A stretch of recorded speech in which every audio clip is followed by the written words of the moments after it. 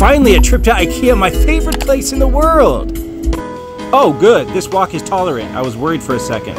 A fry basket. This is perfect for when I just want eight or ten french fries. Ah, it's the corkin. Now, if I could just find the cork here, if I could just take the cork out. Oh, here's the cork.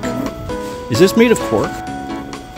Oh my god, what is this? What is this used for? To insert in something? It looks like it would do that. Oh, it's the Flordenflaven. Oh, good. I was looking for finger paints. Oh, wait. This is mustard and ketchup. Chocolate, not? Is this a joke?